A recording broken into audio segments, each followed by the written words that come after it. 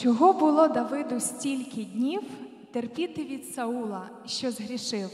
Хіба той спис, який летів у нього, не міг вернутись, суд вчинивши Бога? Але Давид із Господом ходив й тікав, поки Саула Бог терпів. Чого було ховатися в печері пророкові Іллі від Єзавелі?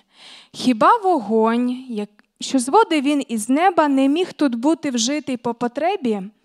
Але Ілля із Господом ходив й ховався, поки царицю Бог терпів. Терпіння Боже то велике диво. Як довго терпить Бог несправедливих, як він чекає, щоб сумління їх заговорило, коли чинять гріх, щоб навернулись, щоби не карати. Бог милостивий, любить він прощати. А тим, хто ходить з Господом щодня, для них Господь рятунок і броня. Якщо в часи Господнього терпіння несправедливі підіймуть гоніння.